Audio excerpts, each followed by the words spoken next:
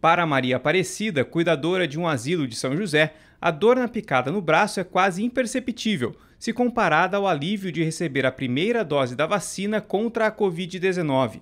Assim como ela, outras funcionárias e as 10 idosas que vivem na instituição de longa permanência receberam a dose da Coronavac. Depois de quase um ano de severas restrições para evitar o contágio com o novo coronavírus, o início do processo de imunização pode representar um pouco de esperança. A gente percebeu a tristeza delas, não é fácil para elas, para a gente também não, entendeu?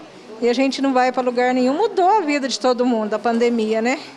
Mas a gente tem que agradecer que ninguém pegou. E agora com a vacina a gente está mais, mais tranquilo.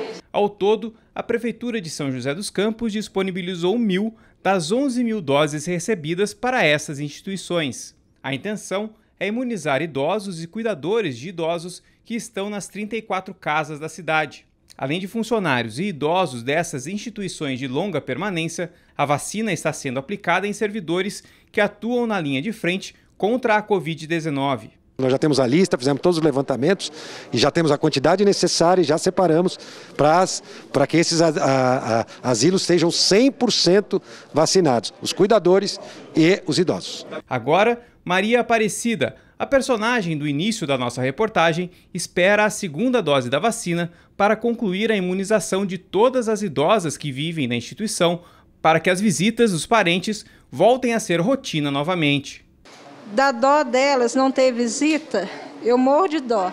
Mas é para o bem delas mesmo. Não adianta liberar a visita, eles ficar felizes e doentes. Todo cuidado a gente teve, todo. E vão continuar tendo, né?